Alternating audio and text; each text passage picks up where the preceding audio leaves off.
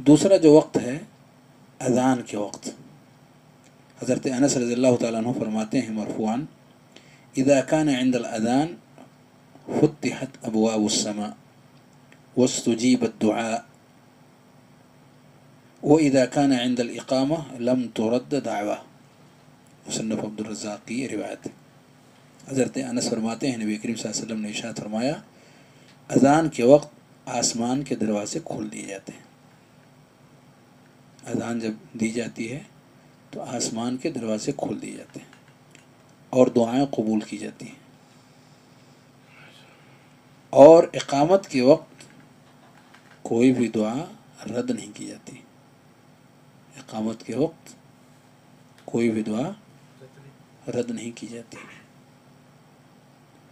तो इस रिवायत से पता चला कि अजान के वक्त दुआ कबूल होती है। एक और बात का पता चला कि इकामत के वक्त भी दुआ कबूल होती है। पता चला कि नहीं? वो इदाकान इंदल इकामा लम तुरद दावा। और जब इकामत का वक्त होता है तो दुआ रद्द नहीं की जाती।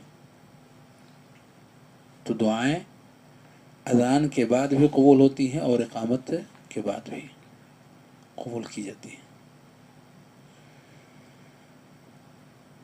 एक और रिवायत है जाबिर रज़ी तु की। फरमाते हैं इदासू वसला फतहत अबवाबुस्समा वस्तुजीब दुआ। इदासू जब नमाज़ के लिए निदा दी जाए तो आसमान के दरवाज़े खोल दिए जाते हैं और दुआएँ कबूल की जाती हैं। ये मुसंद अहमद की रिवायत है। अल्लाह अलबानी ने इसको हसन करार दिया तो इस रिवायत से नमाज़ के लिए बुलाने के वक्त, नमाज़ की निदा देने के वक्त, कबूलियत दुआ की बात इसके अंदर ज़िक्र की गई है। तो पता चला कि अजान के वक्त की दुआएँ अल्लाह रब्बुल आलमीन की बारगाह में कबूल होती हैं।